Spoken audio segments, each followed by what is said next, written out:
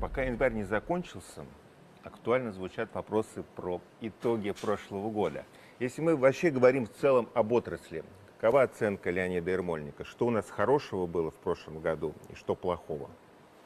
Звягинцев хороший был. Так. Это я так издалека захожу. Мгм. Вот. Спорный Михалков. Спорные? Конечно.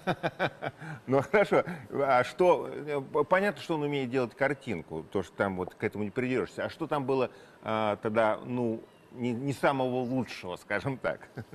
Ну, лучше было то, на чем мы выросли с тобой. Мгм. Лучше были те пять-шесть фильмов, с которых все начиналось. Мгм. Там как-то суть была, и картинка была очень органичной, а не нарочной. Мы про Никиту Сергеевича говорим сейчас, про, про его творчество. Да. Так. А, ну, я вообще как бы ругать все умеют, Мгм. а делать кино умеют очень немногие. Мгм. Всегда сравнивают количество тех фильмов, которые сегодня производятся, включая сериалы, и то, что делалось там 20 лет назад, 25-30. А, Процент хороших картин, безусловно, уменьшился.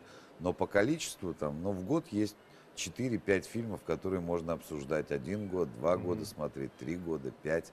А все остальное так появляется и уходит, появляется и уходит. Мгм. То есть не, не, не, не превращается э, в историю отечественного кинематографа, скажем так.